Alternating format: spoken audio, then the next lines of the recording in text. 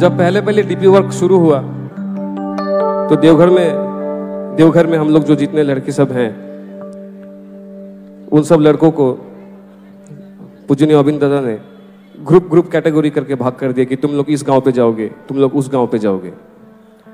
तो ऐसा एक कहानी आया कि एक गाँव पे कुछ लड़के गए, वहाँ पे एक बूढ़ी औरत थी, अकेली, बूढ़ी औरत। उसका कोई नहीं है। बहुत दिन पहले दीक्षा लिया हुआ है वो। लेकिन उसके घर पे कोई नहीं, वो अकेली रहती है। तो जब वो लड़के सब पहुँचे वहाँ पे जाके, बोले कि हमें आचार्य दादा ने भेजे हैं।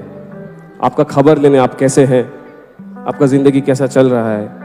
तो वो बूढ़ी औरत दिल फाड़ के रोने लगी।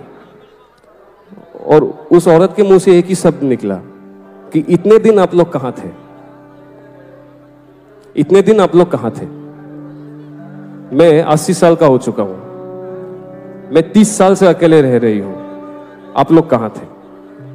तो जब ये कहानी आके दादा को बताया गया तो दादा ने कहा कि इस पृथ्वी में ऐसे कितने ऐसे घर होंगे जहाँ कोई एक इंसान अकेला है, अकेला रो रहा है। और उस इंसान के घर में ठाकुर जी भी अकेले रो रहे हैं।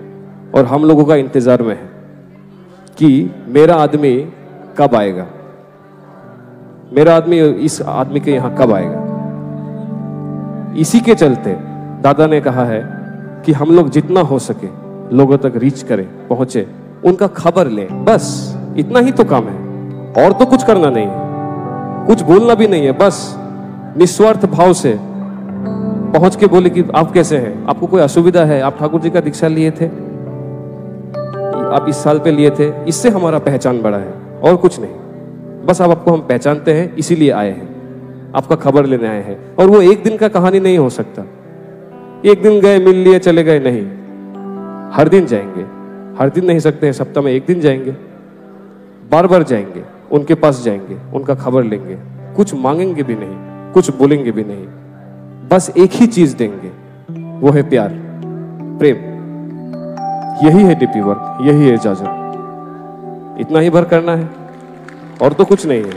लेकिन वो एक दिन का स्टोरी नहीं है। एक दिन गए, बहुत जोश में गए, आ गए, नहीं। It has to be consistent निष्ठा के साथ। निष्ठा के साथ। कुछ पाने के लिए नहीं। ये भी नहीं सोचना है कि उसको हमको ठाकुर जी का आदमी बनाना है एक दिन। नहीं। हम कौन होते हैं बनाने वाले? ये हमारा कैपेबिलिटी में है ही नहीं। ये हमारा क्षमता नहीं है। ये उनका क्षमता है। हमें तो कर्म करना है। रिज़ल्ट या कॉन्सिक्वेंसेस ये हमारे हाथ में नहीं है। टारगेट ओरिएंटेड होके अगर जाएँगे कि ये अचीव करना है, फिर तो हम गलत डायरेक्शन पे सोच रहे हैं। हमारा कोई टारगेट नहीं है। हमारा कोई मकसद नहीं है। हमारा मकसद है बस प्यार, काम करना, जाना। दादा ने जो आदेश दिया है उसको पूरा करना। होगा और क्या नहीं होगा और क्या होगा, ये उनके हाथ में है। ये उनके हाथ में है। जब होगा तब होगा, नहीं होगा तो नहीं होगा। मेरे दो पाँव में मेरा कैपेसिटी है ये दो पाँव से, मैं 20 किलोमीटर से ज़्यादा नहीं दौड़ सकता। तो मैं 40 का कैसे सोचूं? मैं 20 दौड़ूँगा, लेकिन हर दिन दौड़ूँगा। एक कहावत है ब्रूसली का एक ऐसे पढ़ा था, पता नहीं कितना सच है, इंस्टा पे, फेसबुक पे आता है। ब्रूसली ने कहा, मुझे उस इंसान से डर नहीं लगता जिसको ten thousand types of punches आता है। मुझे उस इंसान से डर लगता है जिसने एक तरह का पंच दस हज़ार बार प्रैक्टिस किया है। तो करना तो एक ही चीज़, छोटा सा चीज़ है। छोटा सा एक चीज़ है, लेकिन बराबर करना है। निरंतरता के साथ करना है, निष्ठा के साथ करना है। सक्सेस उनका ऊपर है। होगा तो होगा। अब थोड़ा झूमेंगे आनंद